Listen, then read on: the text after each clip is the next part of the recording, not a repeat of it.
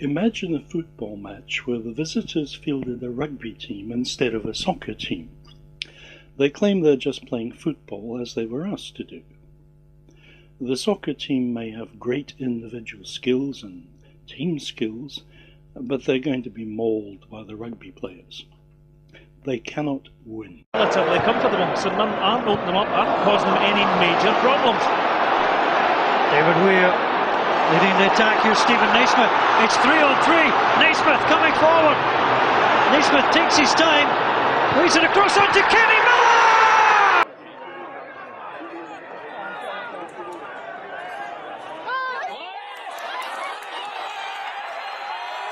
It's the same with honest people.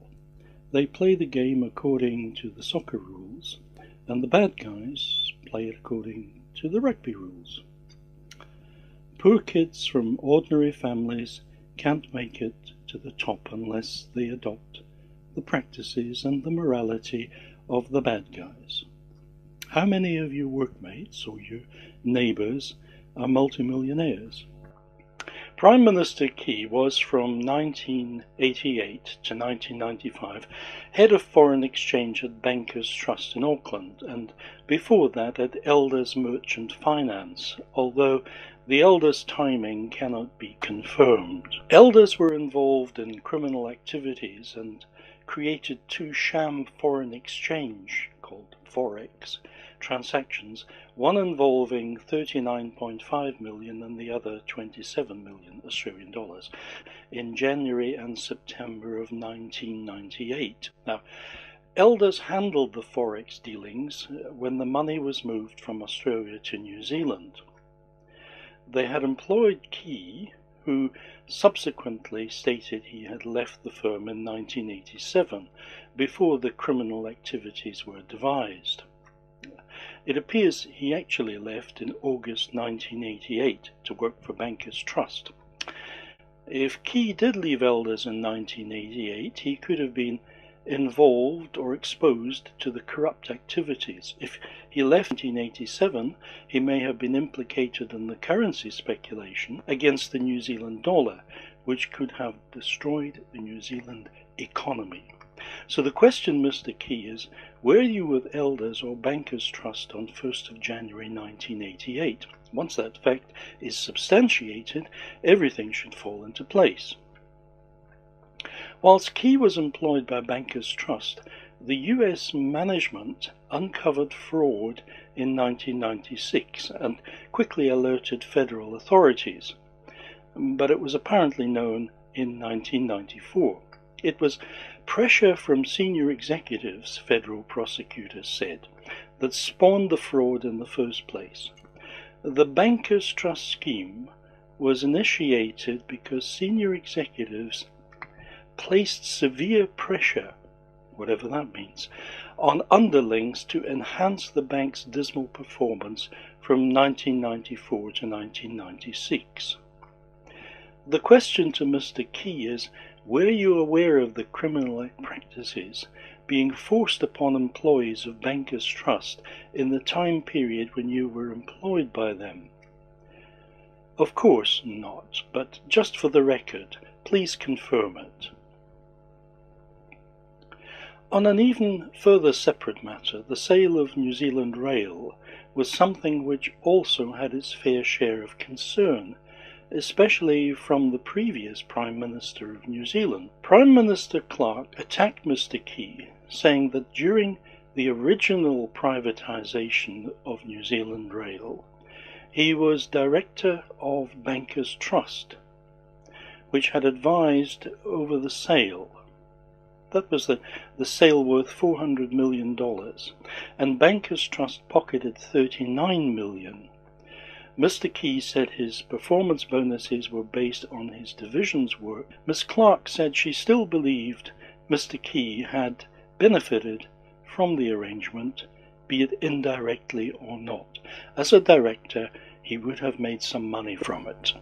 In 1995, Key joined Merrill Lynch as head of foreign exchange in Singapore. That same year, he was promoted to Merrill's global head of foreign exchange based in London. Clearly, the management of Merrill Lynch liked him and his approach to the job. Subsequent revelations indicate Merrill Lynch, as a company, was involved in numerous activities which resulted in them being sued by clients for misrepresentation and by the authorities for criminal activities. Merrill Lynch settled with Orange County in California for a massive 400 million. The county was forced to file for bankruptcy in December 1994. In 2002, Merrill Lynch settled for 10 million as a civil penalty, the result of improper activities that took place in the New Jersey office.